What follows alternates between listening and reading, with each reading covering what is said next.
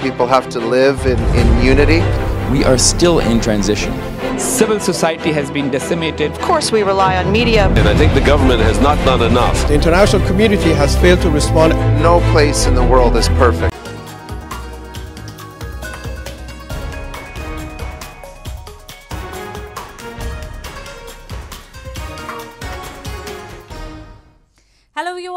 Your host Uzma Jafri with another episode of South Asia Focus. Let's begin the show.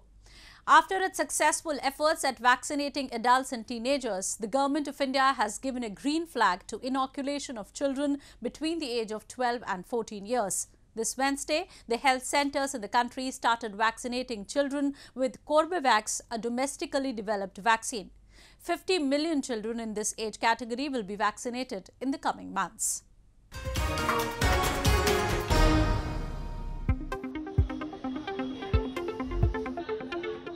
India started administering doses of COVID 19 vaccine to young people aged between 12 and 14 as public and private schools reopened. The government aims to swiftly expand vaccine coverage by also dropping a restriction on booster doses for those older than 60 only if they had a comorbidity condition. The children, estimated by the government to number 50 million, will receive the Corbevax vaccine made by Biological E, a domestic firm that secured emergency approval for its use in children.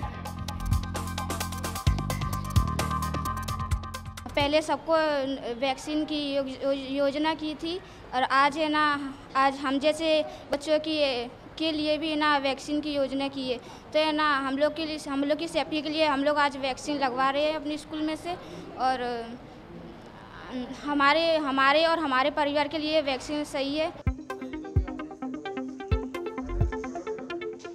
In January 2021, India began its vaccination drives for doctors, healthcare, and frontline workers. The aim was to ensure those at the forefront of the fight against COVID get proper protection at the earliest. In March 2021, vaccination was open to those above 60 and those over 45 with comorbidities. Later, the vaccination was opened for all those above 18. India, with its vast population size, was being looked at closely by foreign observers as to how it will administer doses to its citizens. And what has been called the world's biggest vaccination drive, India has already administered over 1800 million doses. Prime Minister Narendra Modi this week took to Twitter and appreciated the efforts of all those who have been instrumental in the successful Indian vaccination story. It has been due to the sustained vaccination efforts that India is now reporting only over 2,000 cases a day against the tally of nearly 300,000 cases per Delta wave and 400,000 cases during Omicron wave. The schools have reopened and now the young students too feel secure. पहले जब हम school आते थे तो फिर Covid का डर रहता था लेकिन अब हम वैक्सीन लेने के बाद कोविड का डर इतना नहीं रहेगा अब थोड़ा कम है फिर दूसरा डोज भी लेंगे हम तो फिर कोविड का डर पूरा नहीं रहेगा हमारा Delhi's proactive efforts not only saved thousands of lives from COVID in India, but people across the world have been benefited with India made vaccines. The vaccine Maitri program that suffered a temporary halt during the country's second wave has continuously transported vaccines around the world, especially to the third world countries who haven't been able to produce on their own or procure enough for its population. India has also administered over 20 million precautionary doses and has now allowed anybody over 60 years to receive the same. The government says it is committed to administer every single Indian with COVID jabs and keeping in view the positive reception among the Indian mass regarding the vaccine, the country is likely to meet all its targets and set benchmarks for others to follow.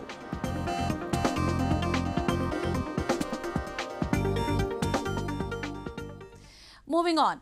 Massive protests have erupted across Sri Lankan capital Colombo against the worsening economic crisis in the country. People led by opposition leaders chanted slogans against the government and asked for regime change. The island nation is going through unprecedented times owing to a forex crisis that has severely affected the fuel supply, thereby creating a shortage that has affected nearly all aspects of people's everyday lives.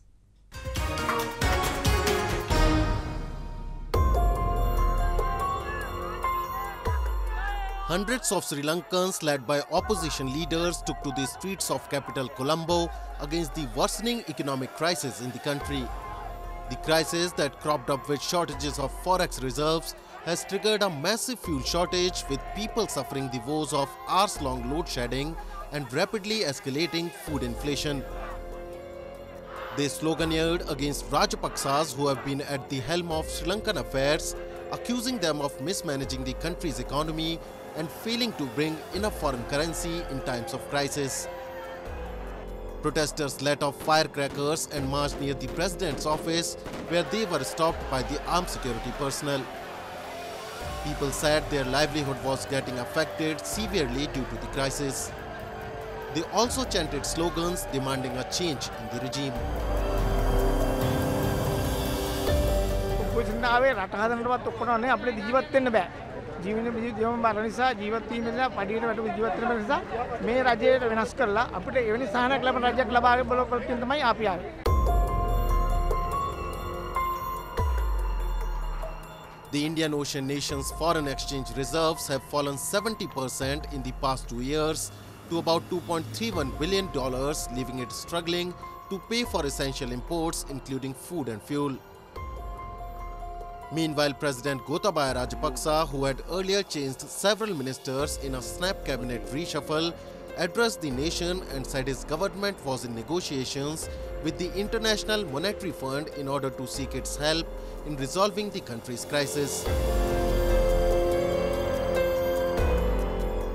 He also informed that his government had set a target of cutting its trade deficit by about 14% to $7 billion this year from $8.1 billion last year. Sri Lankan government is also expecting $5 billion in remittances, which might provide some reprieve to the island nation. ජාත්‍යන්තර මූල්‍ය අරමුදල සමග ඊයේ පැවැත් වූ සාකච්ඡාවත් මේ අරමුණින් කළ එක. ඒ සාකච්ඡාව තුළින් අප බලාපොරොත්තු වන්නේ වසරකට අප ගෙවිය යුතු ණයවාරික ස්වෛරීත්ව බැඳුම් කර ආදිය ගෙවීම් සඳහා ක්‍රමවේදයක් සලසා ගැනීමයි. ජාත්‍යන්තර මූල්‍ය අරමුදල සමග මා කළ සාකච්ඡාවට පසුව වාසි හා අවාසි අධ්‍යනය කොට තවදුරටත් ඔවුන් සමග එක්ව කටයුතු කිරීමට මා තීරණය කළ. Earlier, after the appeal made by the Central Bank of Sri Lanka, the government had imposed curbs on the import of non-essential commodities, including fish, footwear and wine. Not only the Sri Lankan's reserves have dipped to $2.3 billion, the government is also due to repay a debt of about $4 billion in the remainder of this year.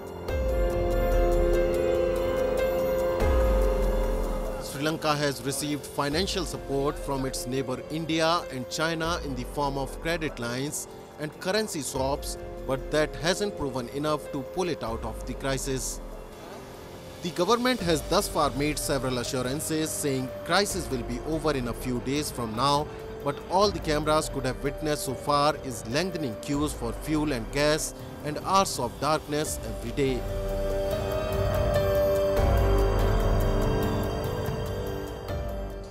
Moving on. On the sidelines of the 49th session of UN Human Rights Council in Geneva, a large number of ethnic Sindhis held anti-Pakistan demonstrations and urged the global body to intervene in the rapidly deteriorating human rights situation in Pakistan's Sindh province. Sindhis accused Pakistan of subjecting them to a form of state crackdown that has severely impacted their lives.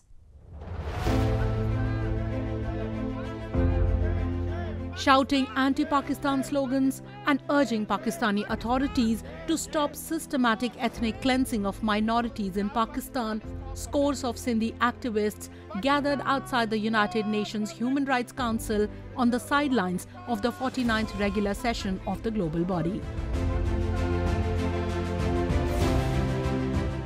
The demonstration was staged to have attention of the global community towards the Sindhi issue which the activists said was deteriorating by the day. Activists urged the international community to intervene against the flagrant violations of human rights in Sindh province of Pakistan, where both the state's direct crackdown and its complicity in Islamic radicals' attack on all aspects of their lives had pushed them to the edge. They are taking over lands, hundreds of thousands of uh, acres of land by military and these proxies. They are curbing, they are killing the democratic protests of Sindhi people. For example, if there is a protest against land grabbing, they charge and they arrest hundreds of people and for, for, for under terrorism charges. Likewise, all those, the, many of these, the hundreds of Sindhi youth are missing. They have been abducted and have been missing for years. They have literally creating a hell for the minorities. Even today, a nine-year-old a girl has been forcefully abducted and this happened in the last three months alone there have been 15 girls who have been abducted and they are literally they want Sindhi people to die and to disappear Testimonies of Sindhis say that the situation has grown so gruesome that security forces abduct people in broad daylight, sometimes dressed in plain clothes and other times in official vehicles and uniforms. They are unable to act with impunity because the government refuses to take any action on allegations of enforced disappearance and has not once brought a perpetrator to justice. There have been around 1,300 known cases of enforced disappearance in Pakistan's Sindh province alone since 2010. The disappeared are often human rights and political activists or journalists who have spoken out against the government's policies and actions against Sindhi people, including environmental degradation, the maladaptation of ancestral lands, displacement and the loss of livelihoods, and large-scale development projects without the consultation or consent of the local communities. Activists uprised that forced conversions and marriages have also become a common phenomenon in Sindh, and as per different estimates, around 1,000 women and girls from religious minorities are abducted and forcibly married off to their abductors every year. Human rights observers have expressed deep concerns over the deteriorating situation.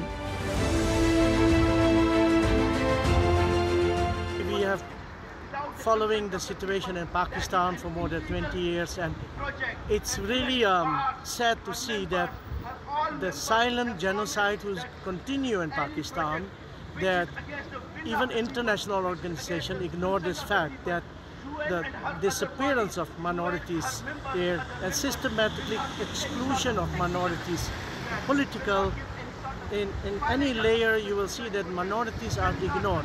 If you see that the, the, the percentage of minorities like Sindhi, Baloch has been dramatically going down and it's concerning. We, we even had discussed this internally in the organization that maybe 2035 Pakistan will be totally minority free and that is very concerning about it. And with time, the situation is rapidly heading south with the province witnessing a sudden escalation in crimes targeting religious minorities.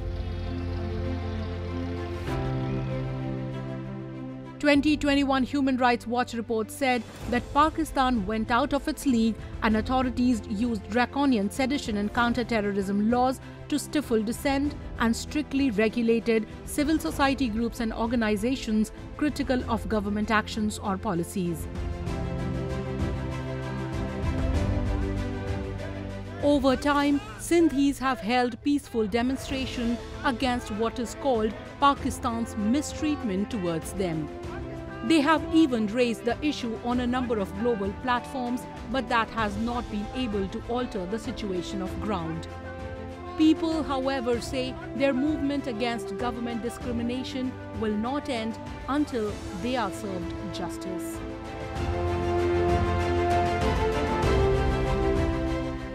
Time now for Asia This Week, the stories from across the continent.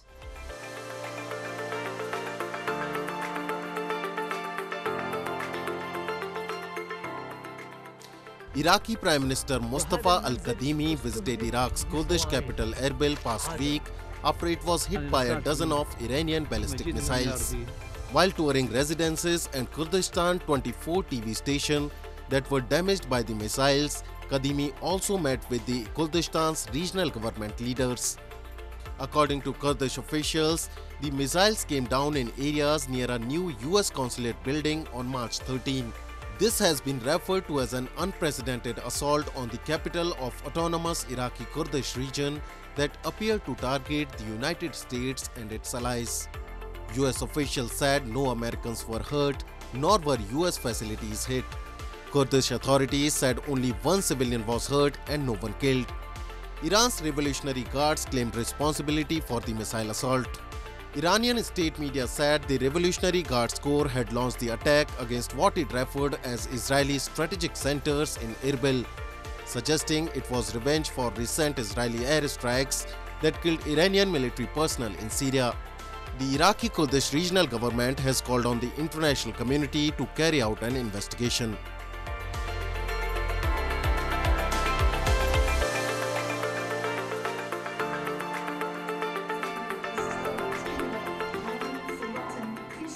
In its first comprehensive human rights report since last year's coup, the United Nations has said that Myanmar's military has engaged in systematic human rights violations, some of them amounting to war crimes and crimes against humanity.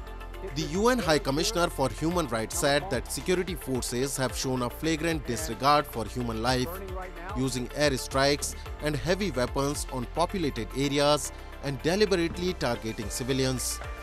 The report further added that many victims were shot in the head, burned to death, arrested arbitrarily, tortured, or used as human shields. The UN report said that it was based on interviews with scores of victims of abuse and witnesses whose accounts were corroborated with satellite imagery, verified multimedia files, and open source information. The report also said that at least 543 people had been killed for their perceived support of the military government. The junta, which overthrew the elected Aung San Suu Kyi government, has in the past year scolded the UN and its independent experts for interference and what it calls reliance on distorted information from partisan groups.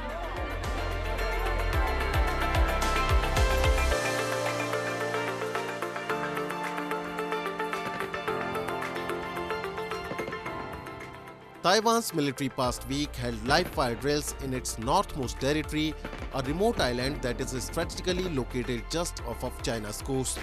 Soldiers fired shells at a floating red cross in the water, meant to represent advancing enemy forces. The echoes of machine guns and cannon fire reverberated around the coastline. Although the Defense Ministry says the exercises on Dongyin, part of the Taiwan-controlled Matsu archipelago off the coast of China's Fuzhou, are routine they are happening as Taipei has raised its alert level after Russia's invasion of Ukraine, wary of Beijing making a similar move. Taiwan has not reported any unusual activities by Beijing since the Ukraine war began. On February 5, a small, propeller-driven Chinese aircraft flew very close to Dongyin. Taiwan does not publish details of its military presence there, but the Dongyin Area Command has been at the front line of Taiwan's defenses since the 1950s.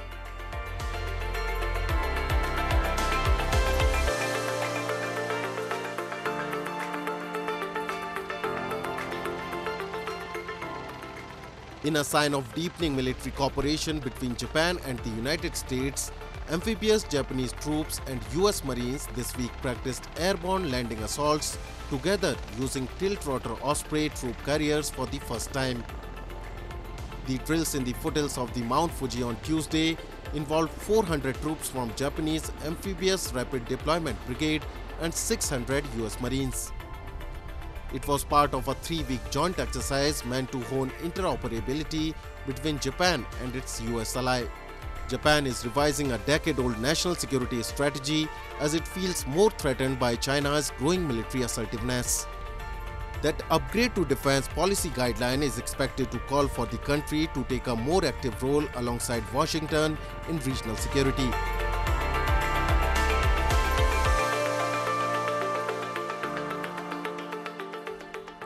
Moving on. India is well known around the world for its vibrant culture and colorful festivities. Each season brings along with itself a bunch of festivities which are celebrated with great zeal and fervor all around the country. One such festival is that of Holi, which comes during the spring season. Let's have a look at this year's Holi celebrations in the northern part of the country. One of the most awaited festivals in India, Holi was celebrated in the northern region of the country with singing, dancing and smearing colours on one another. Although the festival is celebrated throughout the length and breadth of the country, it holds immense importance in the Brij region, where the festival begins a week ago and continues well after the festival. Daubed in colors, devotees in various cities of Uttar Pradesh like Ayodhya and Mathura sang and danced in holy processions as they took to the streets to celebrate the festival. The historical town of Barsana in Mathura observed the Lathmar Holi. It is an age-old tradition in which women use lathis or bamboo sticks to beat the menfolk, who protect themselves with shield.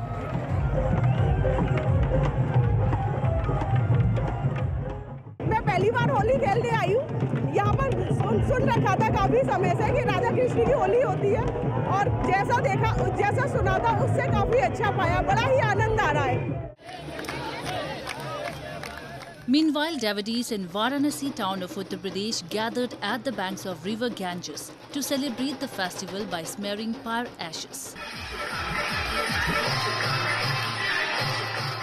Citizens offered prayers to the holy god of destruction Lord Shiva and threw ash from cremation pyres and smeared it on each other's faces to celebrate the occasion at the Manikarnika riverfront. It is believed that the tradition of the festival started when Shiva played Holi with pyre ashes with his aides to celebrate the return of his wife goddess Parvati.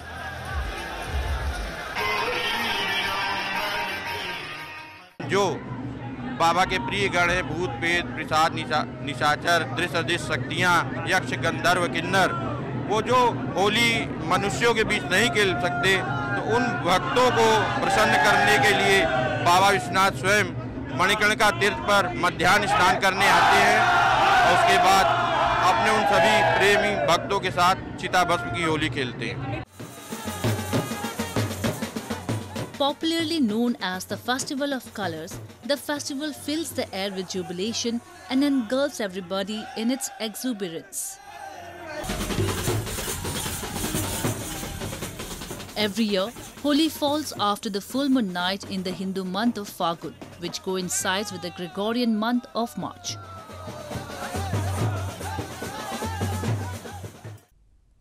Holi is celebrated in different forms in other parts of the world too. With that, we come to the end of this week's episode. See you next week. Goodbye and take care.